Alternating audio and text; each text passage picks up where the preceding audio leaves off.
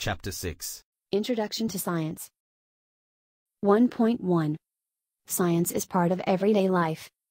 1.2 A Science Laboratory. 1.3 The steps in scientific investigation. 1.4 Physical quantities and their units. 1.5 Weight and mass. 1.6 The use of measuring tools. 1.7 The importance of standard units 1.1 Science is part of everyday life 1. Science is the systematic study of nature and how it affects our lives and the environment.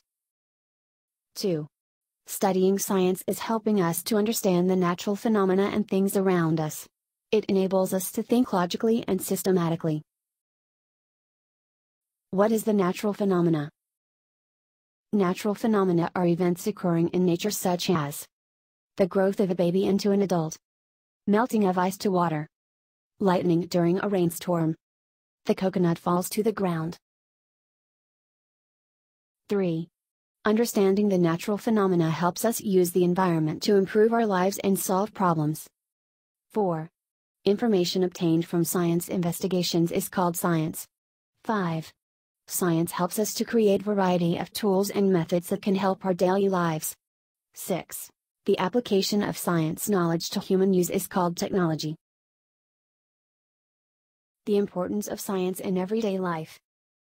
1. Science helps us understand ourselves, helping us to better our health. 2. Science helps us understand our environment, helping us to take good care of our environment. 3. Science help us to live better, helping us to create tools and methods that will make our life better. The contribution of science in our everyday life. Domestic. Make our household works easy. Examples Electric fans, refrigerator, TV, electric cooker. Transportation. Make our movement easy. Examples Car, train, airplane agricultural. Make the works of our farmer easy. Improve yield. Examples Tractor, harvester machine, fertilizers, pesticides. Communication. Make our communication better. Examples Telephone, mobile phone, TV, radio, internet. Medical. Improve our overall health. Examples X ray, MRI, antibiotic, chemotherapy scientific areas of study and related careers. Biology.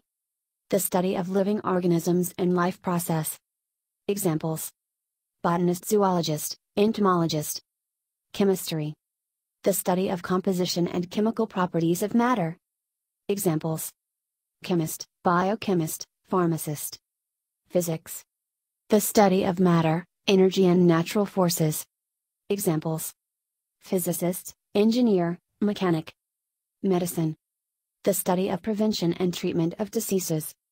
Examples. Doctor, pharmacist. Astronomy. The study of sun, planets, stars and other universe bodies. Examples. Astronomer, astronaut. Geology. The study of rocks, minerals and the structures of the earth. Examples. Geologist, geophysicist. Computer science. The study of computer and its applications. Examples Computer architect, programmer. 1.2 A Science Laboratory 1. Science laboratory is a place where scientists conduct research. 2. In school, science laboratory is a place where students do their scientific investigation and experiment during the science subject. 3. Student must always comply with the general rules and safety precautions when entering and using the science laboratory. General rules and safety precautions in a science laboratory. 1. Student is not allowed to enter into a laboratory without the permission from the teacher. 2. Student is not allowed to eat or drink inside a laboratory. 3. Student is not allowed to run or play inside a laboratory. 4. Apparatus and chemicals are not allowed to be taken out from the laboratory. 5. Student is not allowed to handle any chemical with hand. Please use the spatula. 6. Please read and understand the label on the reagent bottle before using it. 7. Do not waste chemical. Only use the required amount. 8. Do not return back all the residual or excess chemical to its original reagent bottle. 9. Do not taste or test any chemical without the permission from the teacher. 10. Do not throw solid waste into the sink. Throw them into the bins provided. 11. Report any broken or faulty apparatus and accident to the teacher immediately. 12. Clean and return back all the apparatus to its original places after use. 13. Tables and benches must be clean and tidy, all taps and switches turn off before leaving the laboratory. 14. Wash thoroughly your hands before leaving the laboratory. Common laboratory apparatus Crucible Evaporating dish Displacement can. Filter funnel. Bell jar. Gas jar. Test tube. Boiling tube. Beaker. Conical flask Round-bottomed flask, and flat-bottomed flask. Measuring cylinder. Burette. Pipette. Retort stand, and retort clamp.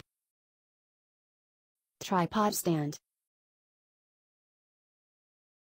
Test tube rack. Spatula Test tube holder. Bunsen burner. Stopwatch. Thermometer. Meter rule. Beam balance. Using a Bunsen burner. Usage. To heat up substances in a science laboratory Gas tube Barrel Collar Air hole Base Steps in using a Bunsen burner Step 1. Close the air hole of the Bunsen burner by adjusting the collar. Step 2. Bring a lit match or lighter near to the mouth of the barrel. Step 3. Turn on the gas supply slowly until a yellow or luminous flame is obtained. Step 4. Open the air hole slowly until a non-luminous blue flame appears. The usage of Bunsen burner. Safety measures when using Bunsen burner. 1. Make sure the collar is always closed when turning on the Bunsen burner at the beginning. 2. Only use lit match or lighter as the source of fire. 3. Ignite the lit match or lighter first before opening the gas supply. 4. After the Bunsen burner is ignited with a yellow flame for the first time, open the air hole slowly until the flame turns to blue. 5. Please heat the test tube at 45 degree angle. Always shake slowly and avoid test tube from overheating. 6. Do not directly heat up flammable ingredients such as alcohol. Heat it in steam water in a beaker. 7. When finished using Bunsen burners, close the air hole first until the yellow flame appears. Later close the gas supply. Hazard symbols in a science laboratory. Symbol Explosive Explodes easily when mixed with other substances or heated up. Example Natrium and kalium. Chemicals that release large amounts of heat and burn or explode when exposed to water. Concentrated acids and alkalis. Chemicals that can burn skin and contaminate other chemicals. Mixture of hydrogen and air. When the hydrogen gas is mixed with air, it will explode strongly when it is lit by fire. Proper handling method. Keep it in paraffin. Avoid contact it with water. Keep away from touching it. Keep away from other substances. Keep away from fire and heat sources. Symbol Flammable. Catches fire and burns easily. Example Organic solvents such as ethanol, petrol, and kerosene.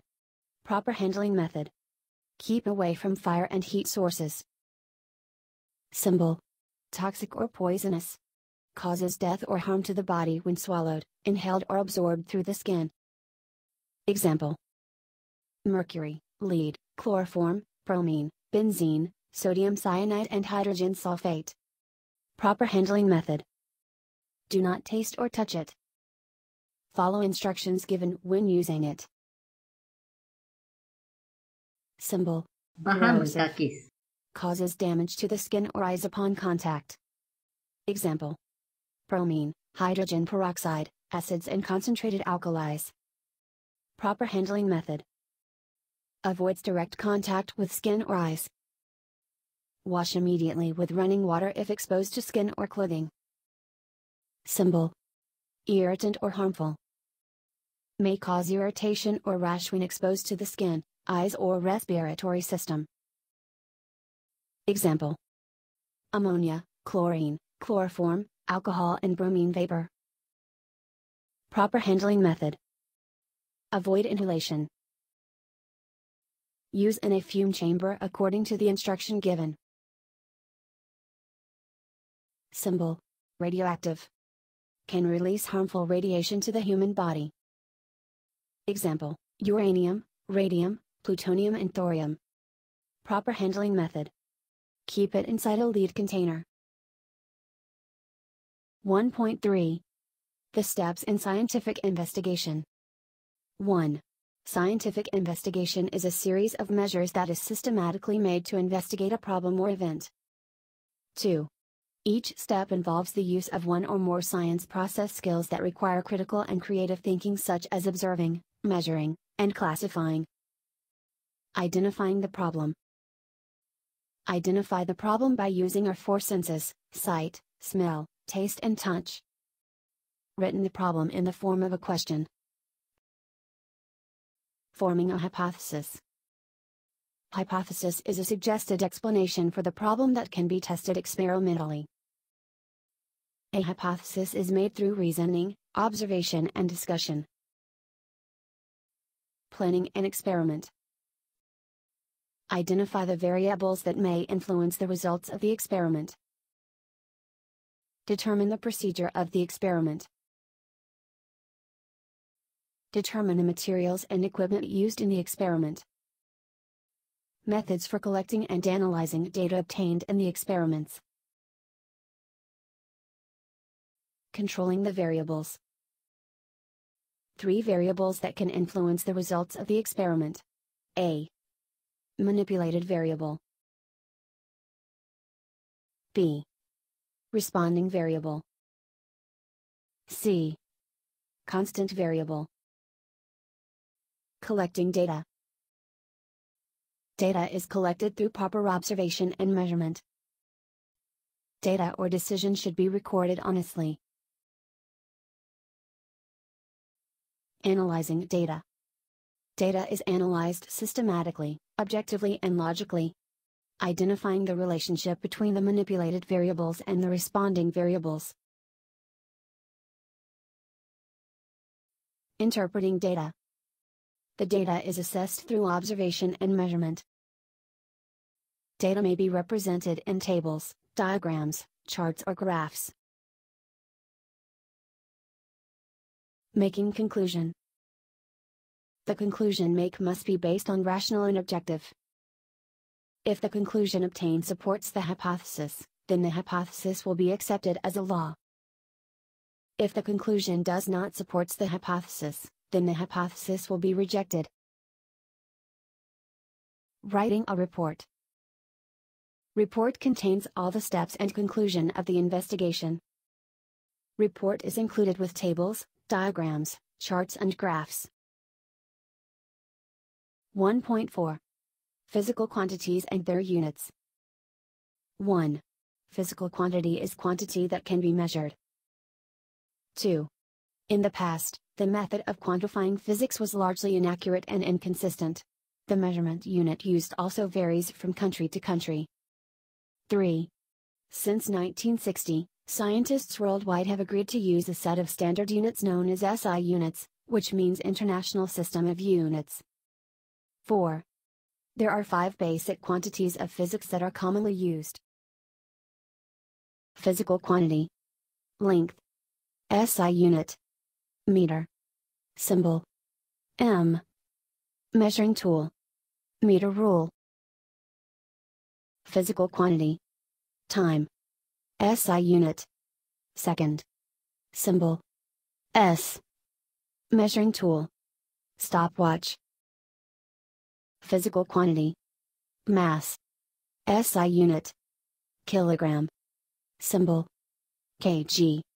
Measuring tool. Lever or beam balance. Physical quantity. Temperature. SI unit. Kelvin. Symbol. K. Measuring tool.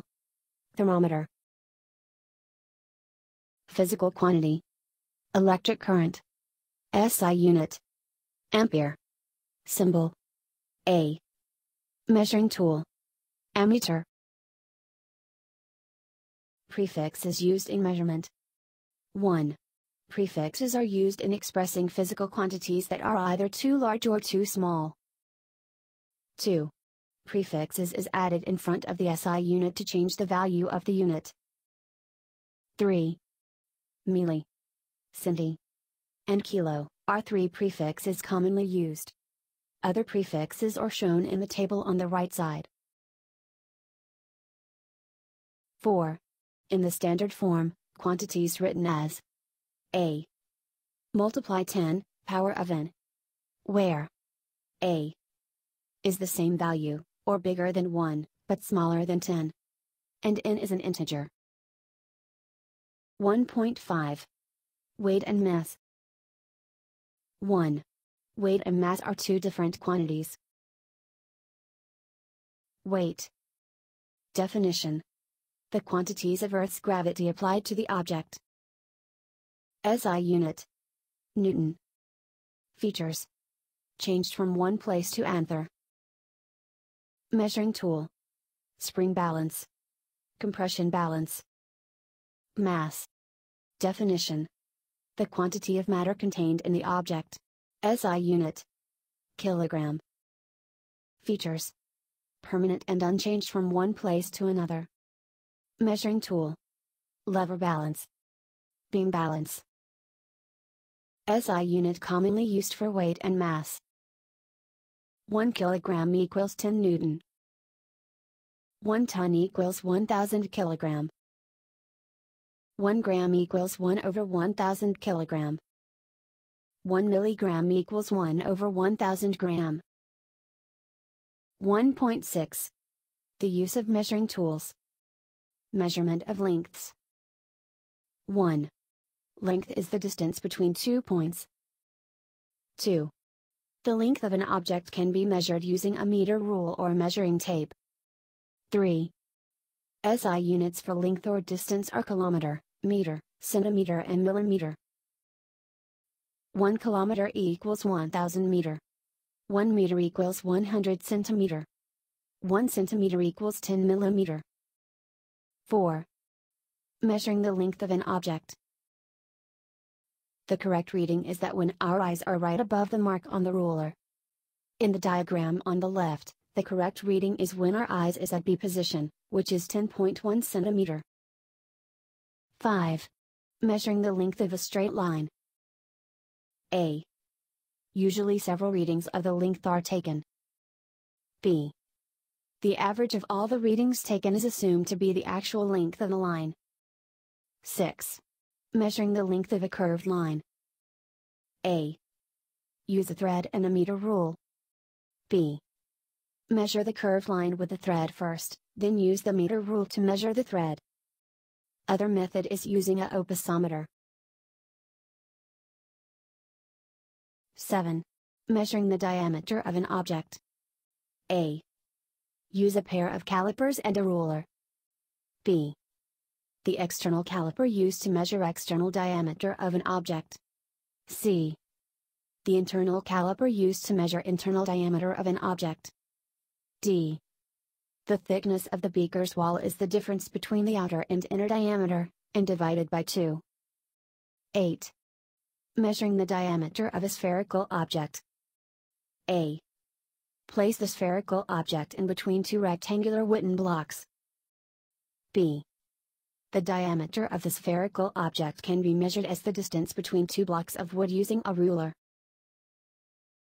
Measurement of areas. A. The area of an object is the size of the surface of the object. B. The SI unit for area is square meter. Other units for smaller areas are square centimeter, and square millimeter, and for large area is square kilometer. In this diagram, we can calculate the area of a leaf by using a graph paper. Every small square has an area of 1 square centimeter. Every part of the leaf that covered more than 50% of the small square shall be considered area of 1 square centimeter. From the graph paper, the number of completed square is 22. Because of each small square is 1 square centimeter. Then, the total area of the leaf is 22 multiply 1 equal to 22 square centimeter. Measurement of volumes. A. The volume of an object is the space occupied by the object. B. The SI unit for volume is cubic meter. Other units for smaller volumes are cubic centimeter, and cubic millimeter, and for large area is cubic kilometer. C. However, the most common unit for measuring volume is liter, and milliliter. 1 cubic centimeter, equal 1 milliliter. 1 liter equal 1000 milliliter equal 1000 cubic centimeter. 1 measuring the volume of liquids. A the volume of liquids can be measured by using a measuring cylinder a pipette or a burette. B the liquid's level is curved in the measuring cylinder this curved portion of the liquid's called meniscus c when measuring liquid volume in a measuring cylinder, the correct reading is where the position of the eyes are at the same level with the bottom of the meniscus. D. Meniscus of all liquids are curved to the bottom, while meniscus of mercury is curved upwards. E. When measuring a liquid with a measuring cylinder, make sure that the measuring cylinder is put on a flat surface while taking the reading. Do not hold the measuring cylinder in the hand while taking the reading. F. To measure the liquids with more accuracy, we used pipette and burette. G. Pipette is used to accurately measure specific volumes of liquid, such as 10 milliliters, 25 milliliters, or 50 milliliters. H. When using a pipette. Firstly, suck the liquid from the beaker into the pipette, by using a pipette pump. Let the liquid rises above the mark on the pipette. Then, Release slowly the excess liquid back into the beaker until the bottom of the meniscus of the liquid reaches the mark on the pipette. I. Burette is used to measure any volume of liquid, up to the accuracy of 0.1 milliliters. J. When measuring the liquid with a burette, first, clamp the burette vertically to a retort stand, with the top of the burette is closed. Then pour the liquid that need to be measured into the burette, using a filter funnel. Early reading on the burette is recorded. Put a piece of white paper on the back of the burette, so that the meniscus of the liquid can be read more clearly. The tap is open to release the liquid into an empty beaker. Close the tap and the final reading is recorded. The difference between the initial reading and the final reading is the volume of the liquid in the beaker. 2. Measuring the volume of a solid object. A. The volumes of a regular, or irregular solid objects, can be measured by using the water displacement method. B. To measure the volume of an irregular solid object like a stone. First, fill the measuring cylinder with water. The initial reading of the volume of the water in the measuring cylinder is recorded. After that, place the stone into the measuring cylinder slowly. The water in the measuring cylinder will rise, and the final reading is recorded. The difference between the initial reading and the final reading is the volume of the stone. C. Water displacement method can also be done with Eureka can. First, fill the Eureka can with water until the water level exceeds the level of the spout. Let the excess water flows out from the spout. After the flows out water stops, place a measuring cylinder below the spout of the Eureka can. Now, place the stone that need to be measured into the can slowly. The water will rise, and flow out of the can into the measuring cylinder through its spout. After the water flow stops, the reading in the measuring cylinder is equivalent to the volume of the stone. Measurement of temperature 1. Measuring temperature A.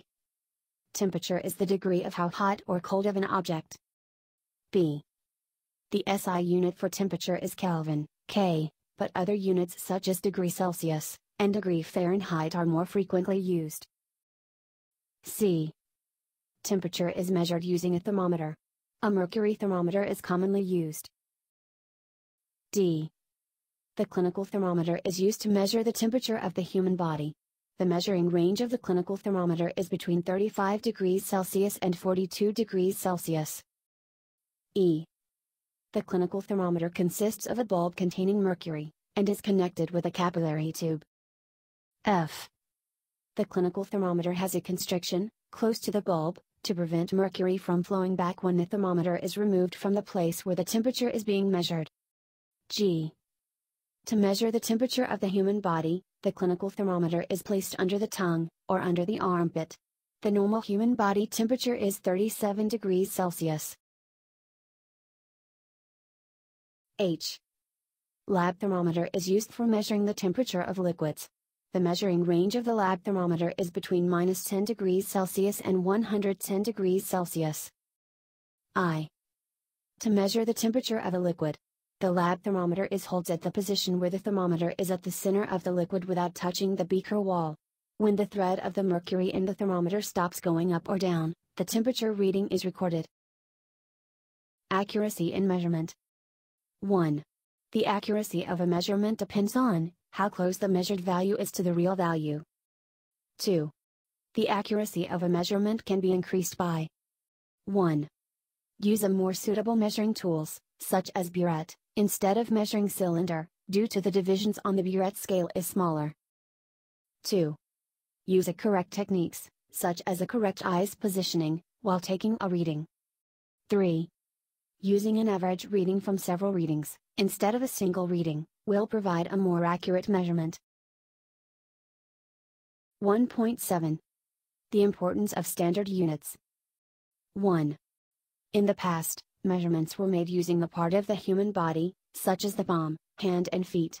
But it creates a lot of trouble, because the size of the palm, hand, or feet, are different from one individual to another. 2. Before SI units were introduced in 1960, the standard units used for measuring length, weight, and time were feet, pounds, and seconds. This standard system unit is known as foot pound second, FPS. 3. Then, the meter kilogram second, MKS, system, was introduced in Europe. 4. In 1960, the International System Unit, SI, was adopted as the world standard measurement unit. With this SI units, scientists around the world can communicate and share information with greater accuracy.